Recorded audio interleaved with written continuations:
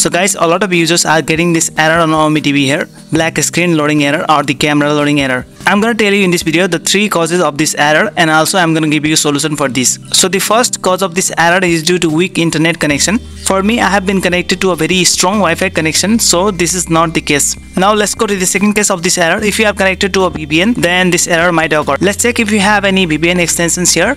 I don't have any VPN extensions installed on the browser. Let's go to the PC and check if I have been connected to any VPN. And you can see I have been connected to Urban VPN. So I'm gonna have to turn this off.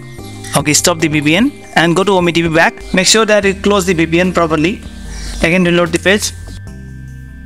And as you can see now, it has instantly solved the issue. Now let's go to the third case. I have a very strong Wi-Fi connection and I have not been connected to any VPN network. Even then it shows me this error. So what I'm gonna do is I'm gonna check if there are any faulty extensions installed on the browser. So we're gonna check and we're gonna remove the extension one by one and check. In my case I know that this extension here is faulty so it's giving me the error so I can just remove it. Let me remove this faulty extension right now.